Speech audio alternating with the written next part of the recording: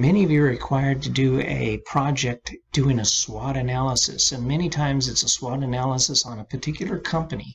And if you get to choose your own company, you normally choose a company you like, right?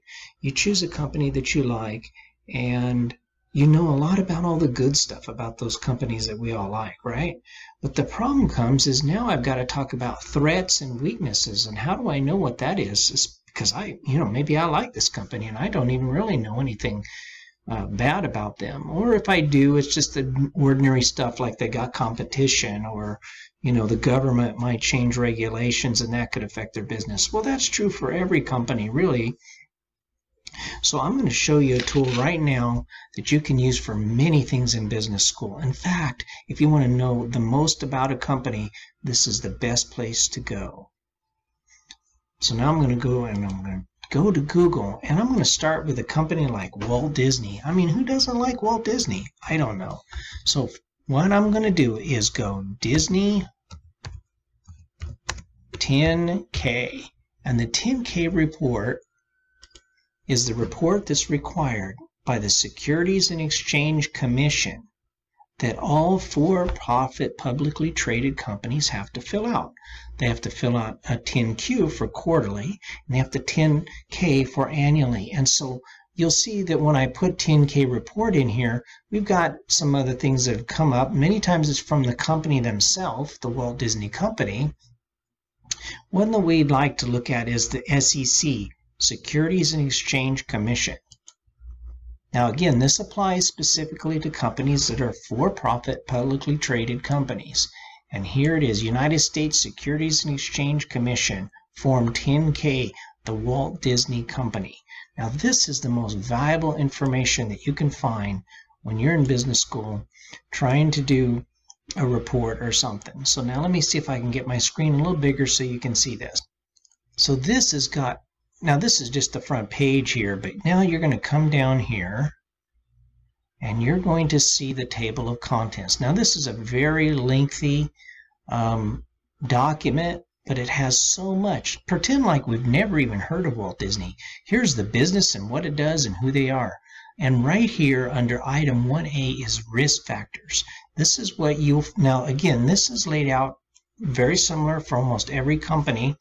So even if you're not choosing Walt Disney, and I'll show you another example of another one here in a minute, but risk factors, that'll take you right to the areas that they say. This is coming from Walt Disney, and what they say might be some risk or potential threats. But first of all, let's look at some of this other stuff.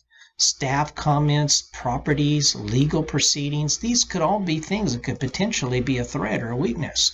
Mining safety regulations, uh, part two. Now this is going to talk about a lot of different stuff about the company, but let me just go show you here and I'm going to scroll. So here's item one, the business, talks about Walt Disney, employs about 201,000 people uh, around the world as of September 2018. Now this is the most recent one that we have here. Um, media networks. So they're going to talk now about their company. Media networks, uh, cable networks, uh, Disney owns uh, 50, I think, what does it say here? Cable networks, uh, ESPN, uh, Disney. So here we go. Here's the subscribers for all of this Disney Channel and ESPN that they own. ESPN, uh, they is owned 80% by Walt Disney Companies and 20% by the Hearst Corporation. So then we have the radio. Here's the Disney channels. Um, Here's different channels uh, in, in foreign countries like India. Broadcasting, the Broadcast Television Network. Oh, by the way, see here, if you didn't know this, company operates the ABC Television Network. Okay, 244 local televisions reaching almost 100% of U.S. television households. That could probably be a strength, right? So they own ABC. Uh, here's the stations and you'll see New York, Los Angeles, Chicago, etc. How about equity investments? These are maybe companies that they don't necessarily own right out, but they have heavy investments in them. You'll see here they've listed equity in the A&E Television Network is owned 50% by the Walt Disney Company and 50% by the Hearst Corporation. That includes A&E History, Lifetime, Lifetime Movie Network, FYI. Um, and here's those channels and their viewership over here.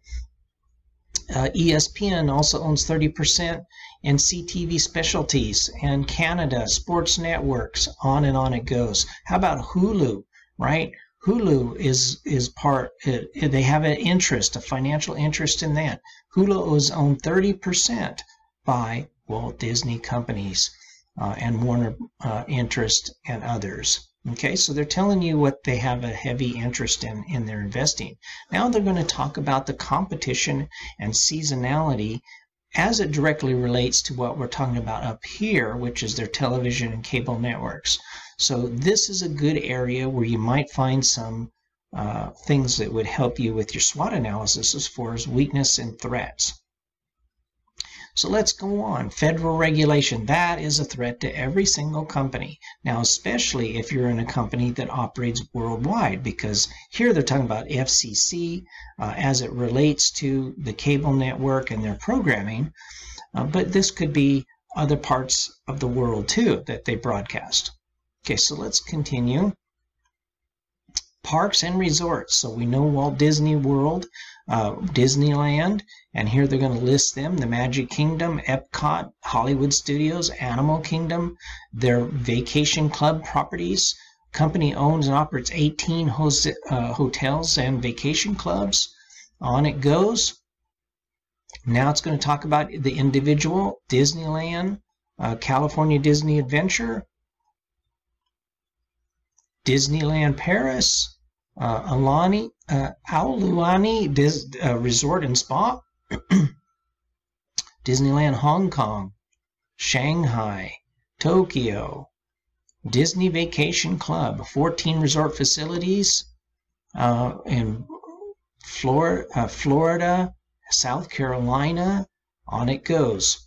Uh, Disney Cruise Lines, Disney by, uh, Adventures by Disney, Walt Disney Imagineering. And now we're here we are again, competition and sustainability, right? So here's an area where you might find some weaknesses or threats. How about studio? They make movies too, right? Marvel, Pixar, uh, Lucasfilm, Touchstone, DreamWorks, theater. Oh, imagine all the movies we've seen by those companies, right? X Men and Star Wars, Fantastic Four, on it goes. How about this one? Uh, Spider Man licensed to Sony Entertainment, but part of Marvel, owned by Walt Disney. Uh, theatrical markets, so it's going to talk a little bit about that. Home entertainment, television, video on demand, pay television, free television, uh, net, uh, shows on Netflix, Showtime, Starz, international television, Disney Music Group. Not only do they make the movies and the TV shows, but they also make the move. They also produce the sound and music, and and um, they own the rights to all the Disney songs going all the way back to the beginning of the Disney company. A theatrical group. Uh, how about this one? You know, where they're putting on their Broadway shows, The Lion King, Aladdin, Little Mermaid, etc., right? Beauty and the Beast they have the theatrical. Now here again, competition and seasonality as it relates to this above area here we've been talking about. How about consumer products? Of course, all the merchandising, uh, games, toys, etc. Um, retail. These are might be retail stores where they have their actual uh, Disney stores and they also have the shops and in Disney games, video games, etc., regular games and video games, publishing, books, magazines, etc. Uh, competition and seasonality there, intellectual property rights, and we could talk a lot about that too when we're talking about Walt Disney. So now here we're going to talk about item 1A. This is where I was trying to get to, but I wanted to give you a brief scope as to all the stuff that's included in this 10K. It has all their financial information, talks about how their CEO is paid, why they're paid the way they are, all kinds of things typically in these 10K reports, and they'll all be laid out pretty much the same. uh, for your company. So now we're under this section of risk factors. Now remember, I don't know if you can see my little scrolly bar over here, um, but I'm only about not even 25% of the way down. And look at all the stuff we've already covered. So uh, risk factors, change in U.S. global and regional economic con conditions. That means the entire economy could change. Changes in public consumer consumer tastes for entertainment. These are threats, right? These are things that could be considered threats. Changes in technology and consumer consumption patterns affect the demand for entertainment products. On and on it goes. Uh, the, the success of our business is highly dependent on the existence and maintenance of intellectual property. Protection of electronically stored data is costly. Variety of uncontrollable events may reduce demand for our products and services, right?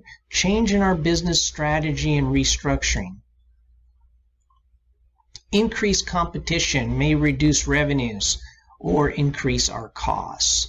So you'll see here, turmoil in the financial markets, sustained increase in costs of pensions and post-retirement medical for employees. Employees costs, this could be for everybody too. Change in regulations to their specific business. Our operations outside the United States could be adversely affected by law in those jurisdictions. So you can see labor disputes, seasonality, uh, risk factors related to the acquisition of 21 CF.